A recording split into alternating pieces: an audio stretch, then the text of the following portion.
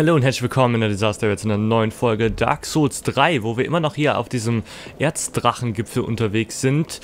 Wir haben ja in der letzten Folge uns nach da ganz hinten durchgekämpft. Es gibt aber noch einen anderen Ort, wo wir jetzt, denke ich mal, noch nicht waren. Ich bin ehrlich gesagt nicht ganz sicher, denn ich meine, wir kamen aus der Richtung da, aber vielleicht habe ich da irgendwas übersehen. Ich habe nämlich extra mich nochmal ein wenig erkundigt, äh, was es hier sonst noch so entdecken gibt, bevor wir uns hier mit dem Boss anlegen. Ich hatte einfach Angst, dass wenn ich jetzt, ähm, diese eine, da war ja dieser eine, dieser eine Schalter und ich hatte Angst, dass wenn ich den jetzt bedenkenlos äh, aktiviere, dass dann irgendwas passiert und ich bestimmte Dinge nicht mehr machen kann. Und deswegen habe ich da nochmal fix nachgeschaut und es triggert alle, es triggert tatsächlich nur den Bosskampf, verändert aber auch hier ein bisschen was, nämlich das Wetter. Das macht es einfach ein bisschen schwieriger zu sehen, denke ich mal.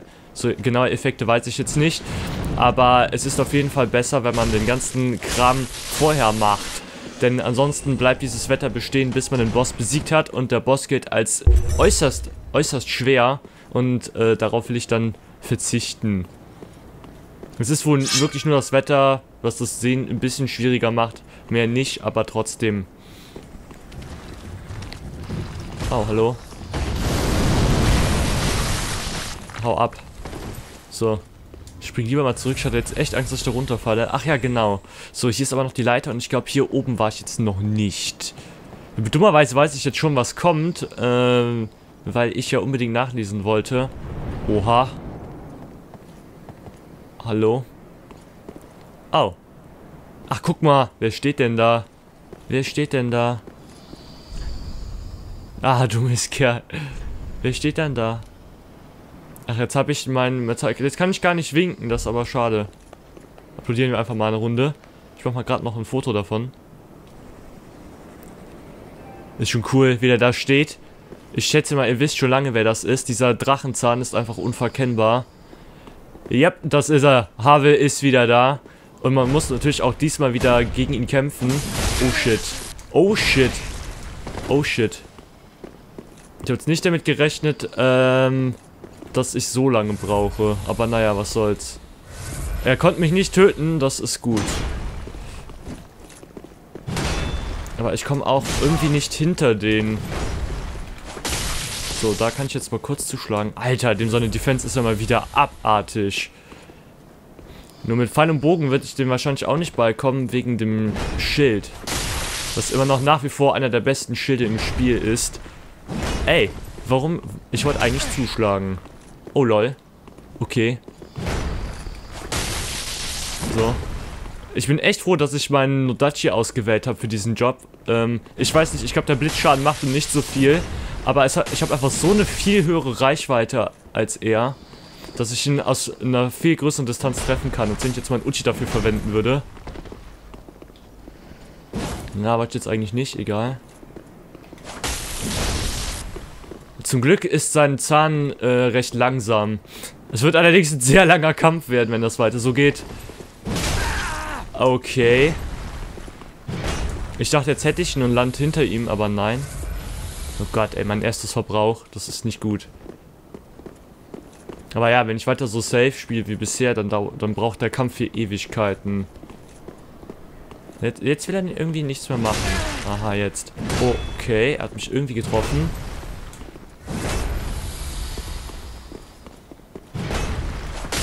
Zack. Ja, da war ich jetzt, da war ich jetzt ein bisschen zu weit weg. Man hat halt auch so dermaßen lange Hits dann von dieser, von dem Zahn. Ja, so geht's, aber es wird noch drei Jahre dauern. Vielleicht kann ich einfach gerade den Schutz casten. Jetzt kommt er natürlich, aber auch nicht schnell, darauf habe ich gesetzt. Ich wusste, dass er mich nicht downrusht. Das ist, er ist einfach nicht der Typ, der einen so rusht. Okay, da ist er ausgewichen. Ich traue mich halt nicht, nochmal zuzuschlagen, weil wenn ich mich vertue... Ja, seht ihr? Das mit der Poise, das kennen wir ja. Das ist ja mein größter Feind und deswegen will ich mich da jetzt überhaupt nicht drauf verlassen. Autsch. Okay, da, war ich, da stand ich ein bisschen zu nah dran. Ich mich lieber. Oh shit. Lieber defensiv bleiben. Lieber nochmal heilen. So kann ich. Jawohl. Ist jetzt gerade mal bei der Hälfte. Okay, das gefällt mir nicht. Ich gehe einfach hin und backsteppen. Boah, guck mal, wie wenig Schaden dem das macht. Ich habe keine Ahnung, was er jetzt gemacht hat, aber es sieht nicht gut aus. Er scheint jetzt noch langsamer zu sein. Er hat jetzt auch sein Schild abgelegt. Alter! Habt ihr das gesehen, wie viel Schaden der meinem, meiner Ausdauer gemacht hat mit nur einem einzigen Schlag? Ist ja abartig. Okay, der Buff hält nicht lange an. Oh, hallo. Boom! Und den kriegst du auch noch. Es sei denn, er weg.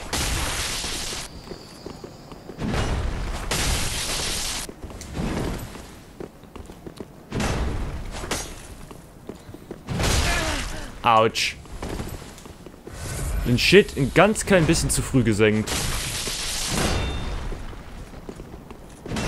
Na gut, dass jetzt mein Schild auch nicht gerade das schlechteste ist. Ich weiß schon, warum ich ausgerechnet den Schild ausgewählt habe. Muss einfach was Gutes haben. Ey, Havel, sag mal, du gehst aber ziemlich schlecht mit deiner Ausdauer um, kann das sein? Das ist schon das zweite Mal und ich muss doch nicht mehr großartig was machen dafür. Wobei äh, sein Zahn natürlich auch extrem viel Ausdauer verbraucht, das muss man dazu sagen. Puh.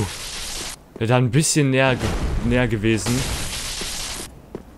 Das hat die Sache, wenn er halt auf den Boden schlägt, das ist ja auch so einen ganz kurzen äh, Stun so drumherum, so ein Slow. Und mit einer kurzen Waffe würde ich ihn da nicht treffen. Aber mit dem Dachi bin ich exakt in dem richtigen Space, um ihn zu treffen.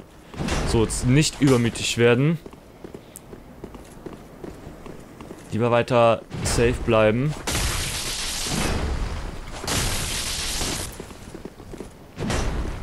Ich würde jetzt nicht hier auf den letzten Drückern wegwerfen, er hat nicht mehr viel. Yes! Habe ich ihn? Nein, er lebt noch. Jetzt habe ich ihn. Es war nur die Animation, dass er seine Ausdauer verloren hat. Und ich dachte, das wäre jetzt seine, seine Todesanimation. habe ich nicht aufgepasst. Aber egal, wir haben ihn ja erwischt. Nice. Havel direkt beim ersten Mal besiegt, damit habe ich nicht gerechnet. Es gibt Drachenzahn, Havels Großschild. Sein äh, Rüstungsset, das weiß ich jetzt schon, äh, kann man auch noch bekommen. Aber da zeige ich euch dann, wo das ist. Ich bin mir jetzt auch nicht ganz sicher, ich glaube zu wissen, wo es ist. Und das Allerwichtigste ist, hier ist eine Titanitscholle. Das heißt, unser Chaos-Schwert, unsere Chaos-Klinge ist endlich finanziert. Das ist richtig gut und ich glaube, das werden wir im nächsten Bosskampf auch brauchen. Der wird nämlich extrem schwer. Kann man hier runter? Kann man? Nur wo mich das hinführt, weiß ich nicht. Ach, das ist die Stelle, wo der Drache oben stand und auf uns runter Feuer gespuckt hat, ne? Ich kann es da unten nicht sehen. Ich weiß auch nicht, ob da irgendwas ist. Keine Ahnung. Mal hier weiter umsehen. Kann ich hier auf den Drachen? Nein. An dem ist kein Vorbeikommen, so wie es aussieht. Da kann ich auch nichts irgendwie mit dem machen oder so. Der ist nur Deko. Die Story dahinter ist wahrscheinlich, hey, ich bin Haven, ich bin so hart, ich habe sogar einen Drachen hier gekillt. Obwohl ich so ein fetter Klops bin. Oder vielleicht hat er von dem auch den Zahn, keine Ahnung. Alles, was ich weiß, ist, hier kann man durch die Wand, das ist bestimmt nicht umsonst. Also schnappen wir uns einfach mal den Katzenring, jumpen darunter und gucken, ob da was ist. Vielleicht sterbe ich, vielleicht ist da auch gar nichts, aber wer nicht wagt, der nicht gewinnt. So. Hepp.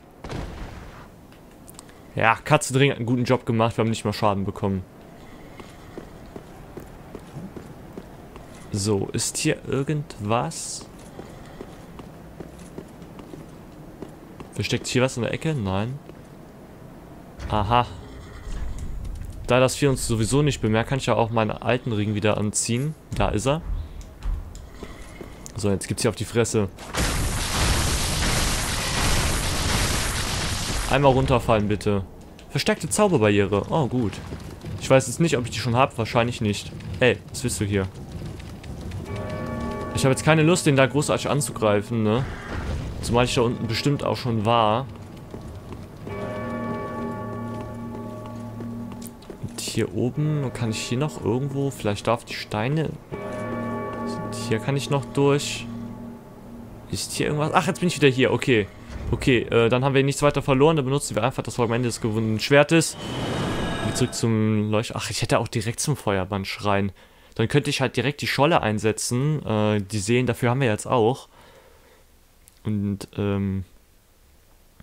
Ja, vielleicht gehen wir jetzt erst zur Pharaon-Feste. Einfach hat sich das wenigstens gelohnt, dass wir hier geportet sind. und äh, schnappen uns das Havel-Set, wenn ich denn weiß, wo das ist. Äh, das soll nämlich in der Pharaon-Feste sein. Ihr wisst ja, da ist ja dieser eine, im Englischen heißt das J-Demon. Ähm, diese, dieser Asylum-Dämon aus dem Dark Souls 1, der allerdings neuerdings so, so Felsbrocken spucken kann. Das ist, da soll das sein. So, und hat sich auch, hat sich auch gelohnt, dass wir da, ähm, nochmal gegen den gekämpft haben, den eliminiert haben. Weil es müssen wir jetzt sowieso, um an die Rüstung ranzukommen. Wenn sie denn da ist. Kann auch sein, dass ein, dass ein anderer Dämon gemeint ist und ich mich dann ähm, total in die falschen Ort begebe. Aber ich wüsste keinen anderen Stray Demon in Fahrenfest, also nehme ich mal an, das ist da. Und wenn nicht, äh, dann gucke ich einfach zwischen den Folgen nochmal nach und dann machen wir das in der nächsten Folge. Habe ich zwar ein bisschen Zeit verschwendet, weil ich dann hier hingelatscht bin für nichts und wieder nichts, aber naja. So. Und als nächstes kommt dann Nameless King, der namenlose König, ähm, der mit als schwerster Boss im Spiel gilt, wenn das die DLC nicht ändern, wovon ich ausgehe. Und da bin ich mir gespannt. Ja, da hinten glitzert doch was. Da glitzert doch was. Hallo, jetzt ist das eine Glut, die ich beim letzten Mal vergessen habe. Das wäre bitter. Das wäre richtig bitter. So. Hallo. Und da ist er. Havets komplette Rüstung, die werden wir jetzt natürlich nicht benutzen, denn die ist uns viel, viel, viel zu schwer. Aber ja, da habt ihr es, da ist sie. Bloß nicht vergessen, dass die da spawnt. Ich hätte jetzt bestimmt auch nicht dran gedacht, wenn ich jetzt zufällig gefunden hätte. Ich meine, wie soll man da drauf kommen, dass das ausgerechnet hier ist? Ich habe keine Ahnung, woher man das wissen soll. Ich weiß es nicht. Vielleicht steht das bei der Drachenzahnbeschreibung oder so. Keine Ahnung. Aber wo Drachenzahnbeschreibung? Das wird mich ja denn jetzt doch interessieren, ne? 188 physisch. Wow. Aber 40 Stärke braucht man dafür. De definitiv nichts für uns. Durchhaltewillen ist auch wieder dabei. Der typische... Ich habe eigentlich erwartet, dass man... Ähm... Ich habe eigentlich erwartet, dass man, dass der Drachenzahn irgendwas eigenes Spezielles hat, weil es halt eben so eine ähm, besondere Waffe ist. Aber nein, es gibt nur den Durchhaltewillen, wie die meisten anderen Keulen auch. Und äh, ja, wie erwartet ist das Ding unglaublich schwer. 21. Dafür Robustheit, absolut unzerstörbar das Teil. Und eine Abwehrmindung von 60% physisch. Das ist fast so gut wie ein Standardschild.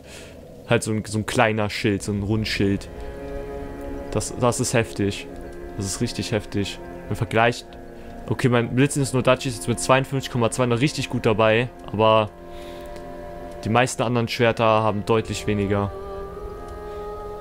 Ach ja, stimmt, hier haben wir jetzt noch den Drachentöterspeer bekommen. Äh, der ist auch ganz interessant, weil der hat Blitzschaden, scaled ein bisschen mit Wille und äh, ja, C-Geschick ist auch nicht so schlecht. Wahrscheinlich eher was für Quality-Build, weil da das Stärke-Attribut auch noch eine Rolle spielt. Ähm, aber ja, Wille und Geschick haben wir ja, also vielleicht wird das Ding noch was. Aber ich glaube, ich habe jetzt so meine Waffen zusammengesammelt. So, wie sieht's mit Havels Großschild aus? Alter, für ein Schild macht er extrem viel Schaden, ey, 143.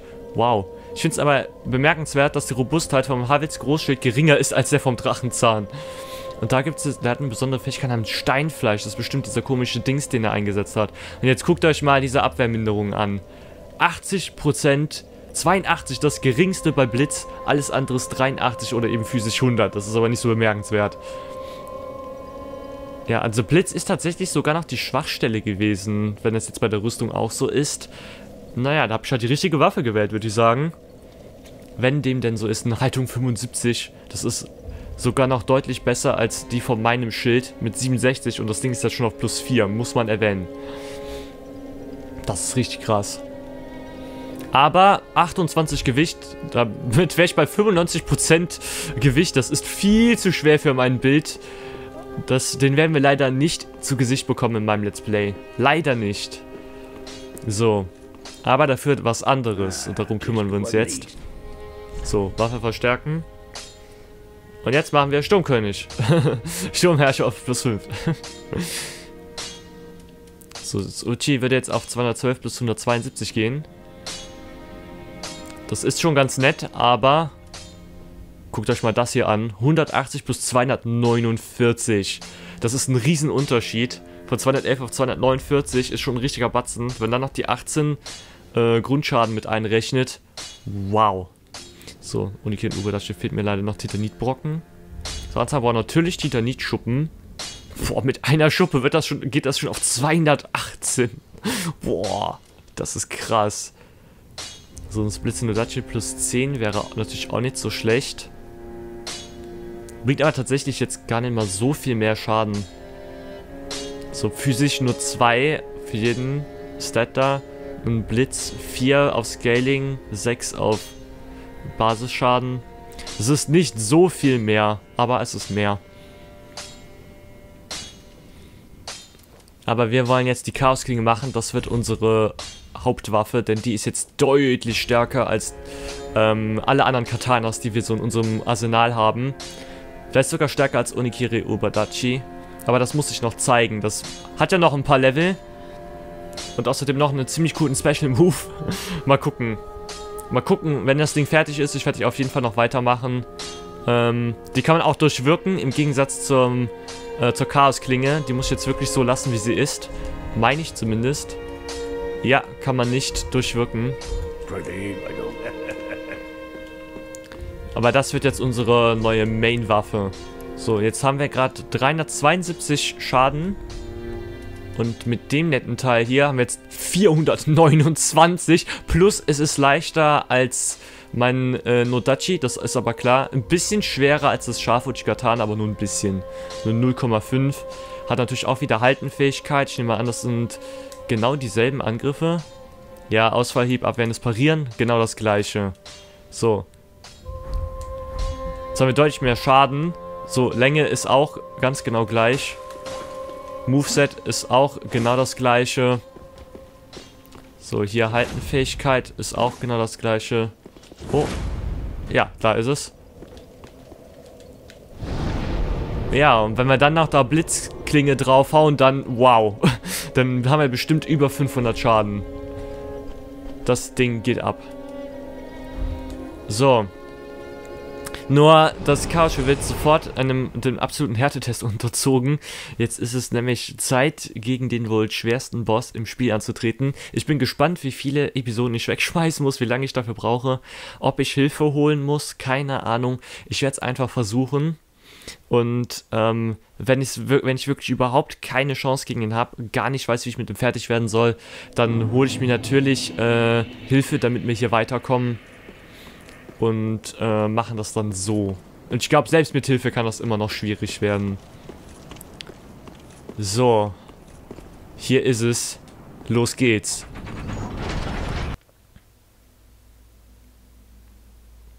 Die Kamera ist dem auf jeden Fall abgeneigt, haha. ja, es dreht sich.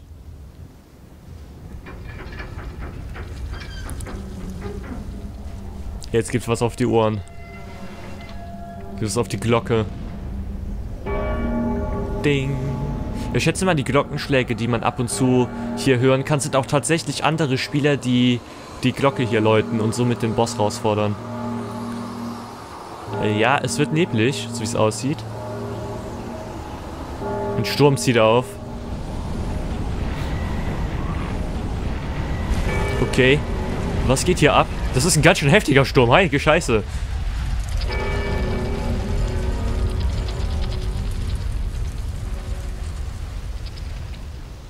Okay. Es regnet. Ein bisschen. Ein bisschen heftig. Oha. Was ist das? Ich schätze mal, das ist unser Schlachtfeld. sieht ja ziemlich cool aus. Muss man ja sagen, ne? Muss man ja zugeben.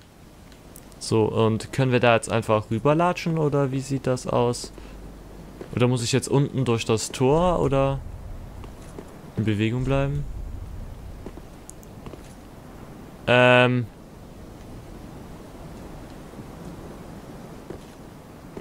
Ja.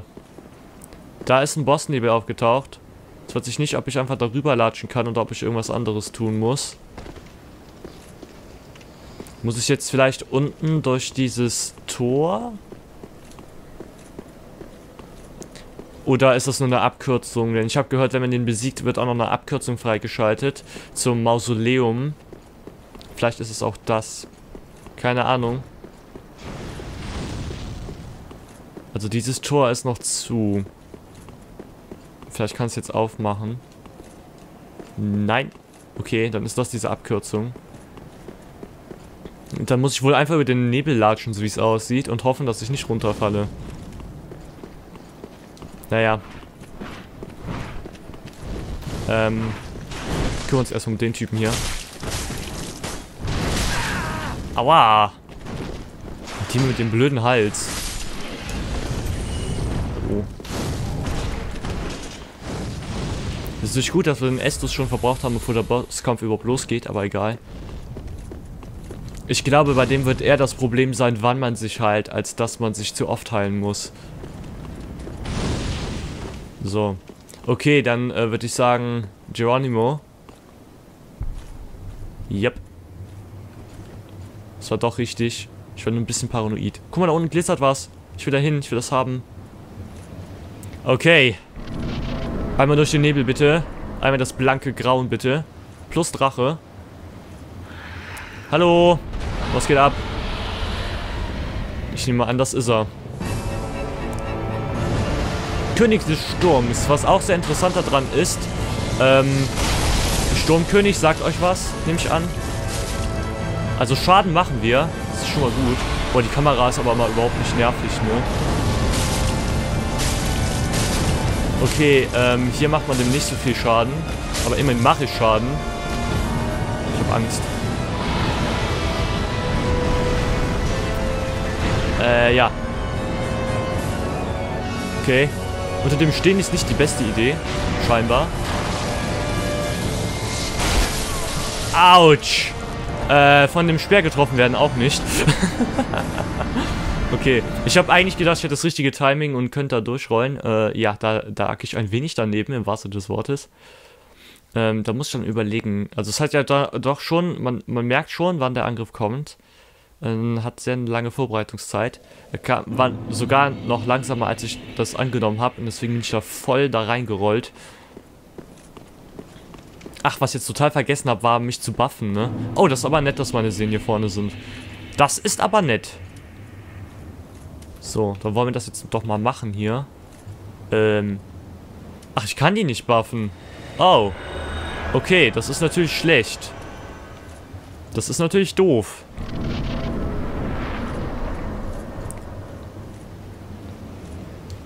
So. Vielleicht kann ich ihn jetzt schon mit Pfeil und Bogen ein bisschen was abziehen. Äh, ja, zwei. Da, das hat's gebracht. Aber ich glaube, ich habe auch nicht so richtig getroffen. Yes, diesmal hat's funktioniert. Und hier am Kopf ist er dann natürlich sehr verletzlich. Autsch. Ich bin natürlich auch sehr verletzlich. oh Gott, Kamera. Oh, der macht nicht nur physischen Schaden, das ist schon mal gut zu wissen. Autsch. Genau, springt voll in den Sonnenlichtspeer. Aua. Ich weiß gar nicht, wie ich darauf reagieren soll, ne?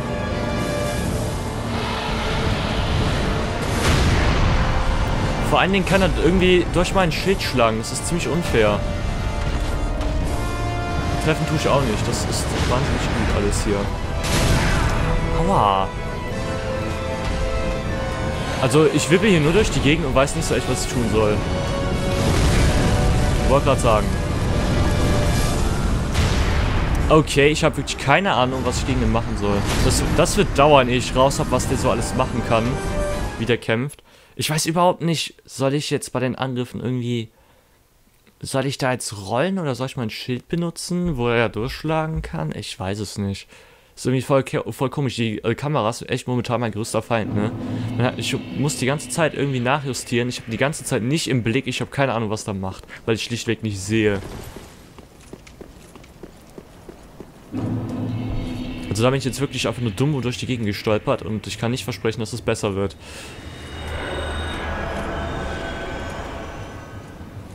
Im Moment bin ich echt noch überfordert mit dem. Keine Ahnung, was ich gegen ihn tun muss.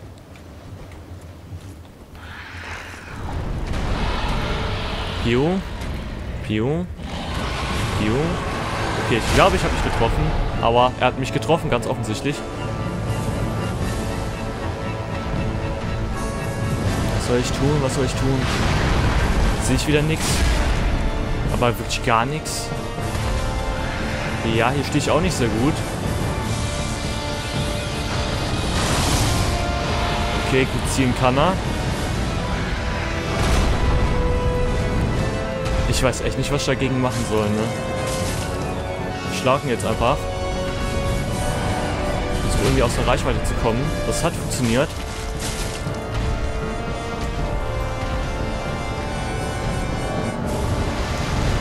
Ich weiß nicht, ob es wirklich schlau ist, mit Lock anzukämpfen. Okay, also er versucht sich hinter einem zu positionieren und alles, was man tun muss, ist äh, dumm durch die Gegend rollen. Und dann trifft er einen nicht. Das ist sehr gut. Ist aber auch nicht so leicht zu treffen, denn du willst ja, ähm, du willst ja seinen Kopf treffen und das ist nicht so einfach. Okay, was macht er? Ach, Feuer. Okay.